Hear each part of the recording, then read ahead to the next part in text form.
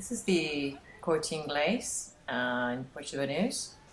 Uh, this is the cash registers. There are so many, so many that actually you never really have to wait a really, really long time to get your shopping done.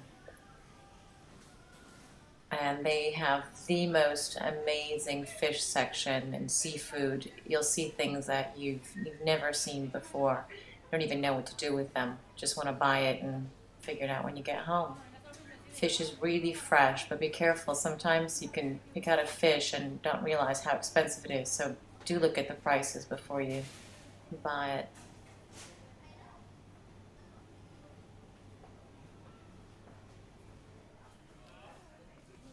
Here at Hipercor, you can find just about anything you want. Um, any lots of products that you won't normally find anywhere else. You can find it here and uh, they have a huge section cereals and cookies and jams and and lots of stuff that are imported that you might not find in any other shop around Marbella.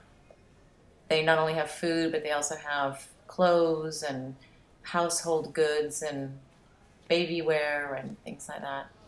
They have a bakery, um, which is okay. Uh, the other bakeries here I think are a bit better, but if you need to get a bread, it's, it's fine um, right here is where you can find some bagels. It's not there every time, but very often you can find bagels just right here in the frozen section.